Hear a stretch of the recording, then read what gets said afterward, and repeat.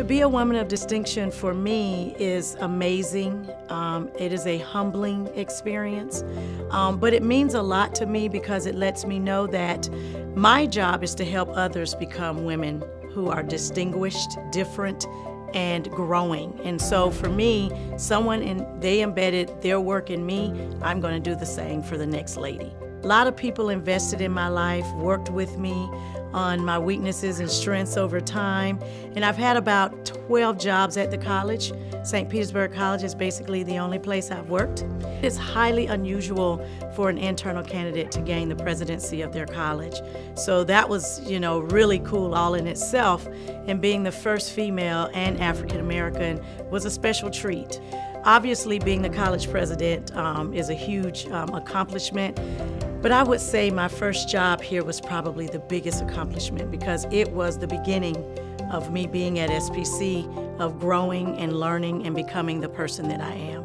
I feel that I'm not doing my job if I'm not giving back to the community and being a part of the solution that helps people change their lives. I was born in poverty.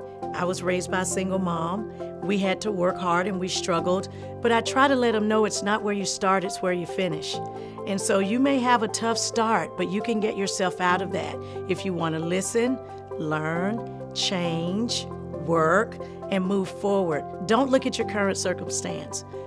What is your goal? Let's work on how to get you there. What are the things you need to learn? What are the experiences you need to have so that you can make your dreams come true?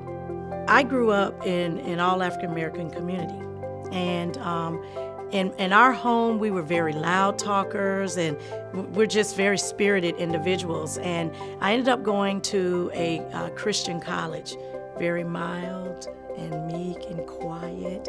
And here I come, rah. And so for me, I had to step out of my comfort zone and learn okay, this is a different environment. How do I bring my A game and still be effective and be myself? And so I had to learn to tone it down a little bit, listen. I've always been myself. People who know me will say, man, you haven't changed. You're still Tonjua, you know, from South St. Pete. Um, but there are parts of me that had to change to grow. And to grow, you have to be uncomfortable. For today's girls and the next generation of women, I would say there's absolutely nothing you cannot accomplish. There's nothing you cannot do. Don't listen to that little voice in the back of your head that says, no, you don't have this, you don't have that. Go get it.